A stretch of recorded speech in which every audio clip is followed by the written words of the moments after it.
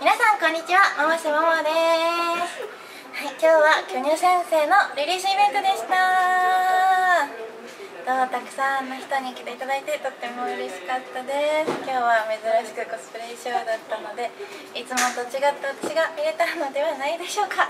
引き続き巨乳先生よろしくお願いします。